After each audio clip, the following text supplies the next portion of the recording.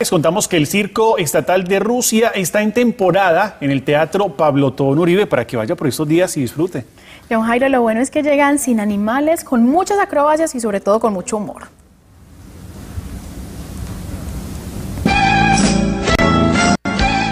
Seguramente usted ha estado en un circo, claro. Lo que no es seguro es que haya disfrutado de un circo ruso, que por historia son los más reconocidos en el mundo.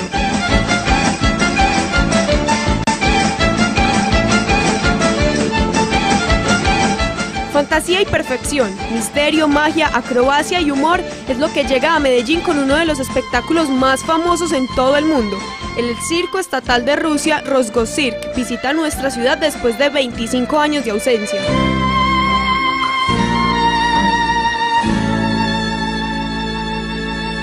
35 artistas en escena con 17 actos acrobáticos es lo que se podrá ver en el Teatro Pablo Tobón Uribe desde el 24 al 26 de septiembre.